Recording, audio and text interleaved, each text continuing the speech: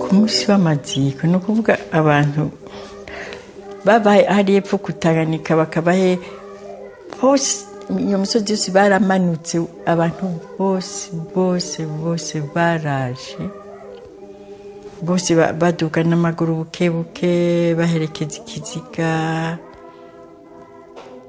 Twe- mu- murumva hacere nk'ubu ngaha wamengo uko ari uko nyine abagore baba bino bujumba bose bambaye ibyirabura. No bagasore yarababaje uburundi yarababaje abantu.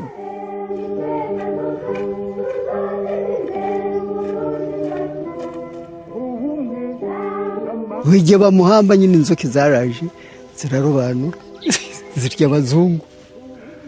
Abarundi nta n'umwe. Autour de la tombe, la foule est estimée à 30 000 personnes.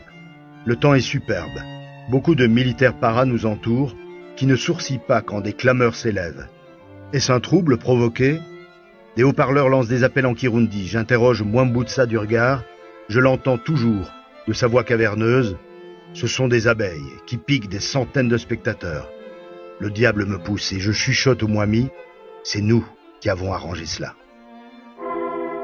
Abagore kuva apfuye nibo biyokipa i- kwantretena tombe yiwe kwantretena harya hose hambwe nibo baharo.